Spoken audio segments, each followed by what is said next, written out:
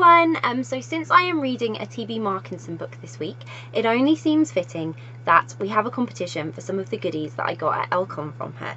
Um, so she, as you, some of you may know, some of you may not know, I don't know, um, TB runs I Heart Lesfic, which does a lot of great things for us in bringing us newsletters, um, updates. She's just had a sale for some books that all the authors put into, um, and she combines a lot of things, brings them together for us, and makes it easy for us to find new books to read, find new books to enjoy, talk about books that we have enjoyed, and she does a lot to help all of us as bloggers as well with our reviews and sharing. And she's just an absolutely brilliant member of this community.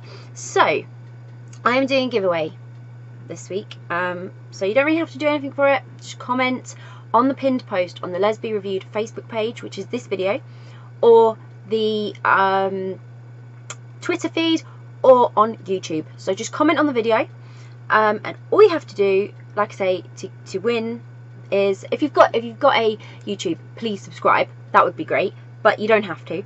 And um, what you'll be winning is a um, Heart Lesfic band for your arm, which looks so cool. And you can also win um, an I Heart Lesfic keyring. So you'll get both.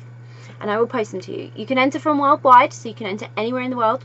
And all you have to do, like I say, is put your name on the pinned post on the Twitter page, the Facebook page, or on the YouTube video, and you'll be in a chance of winning these two gorgeous items. So, look, they match my bedding. I love it.